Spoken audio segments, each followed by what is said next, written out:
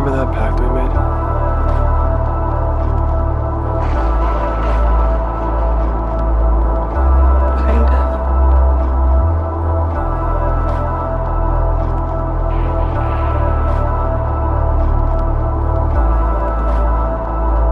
promise to never leave each other.